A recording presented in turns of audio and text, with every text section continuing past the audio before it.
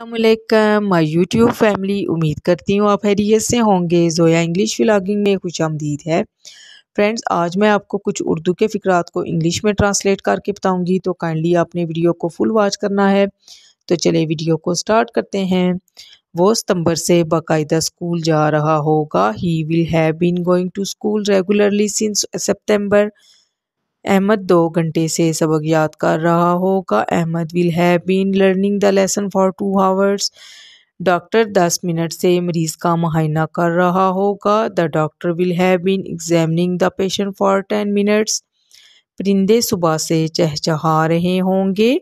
Birds will have been chirping since morning तालब इलम तीन घंटे से पर्चा हाल करते रहे होंगे।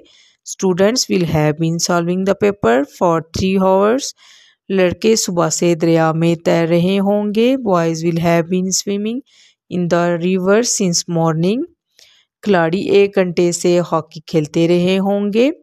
Players will have been playing hockey for one hour one hour वो सात बजे से अखबार नहीं पढ़ता होगा।